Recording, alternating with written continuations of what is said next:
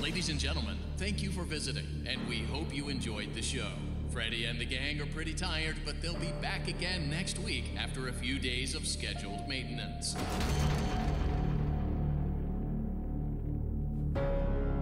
Freddy Fazbear's Mega Pizzaplex is now closed, initiating nighttime protocols.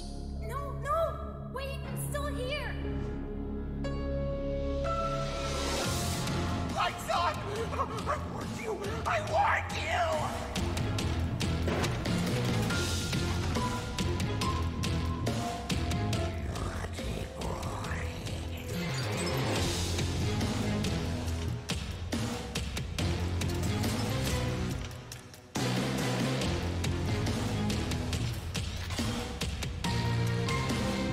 You should be able to escape when the security doors reopen at 6 a.m. Until then, keep moving and try not to draw attention to yourself. If there is another way out, I will help you find it.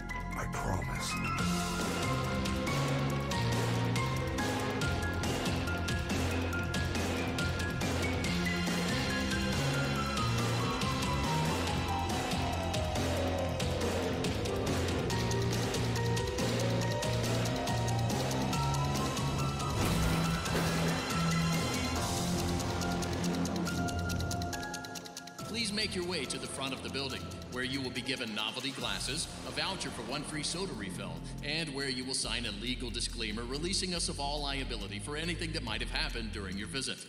Have an awesome night, and we'll see you again soon. Would you like to take a short survey about your experience?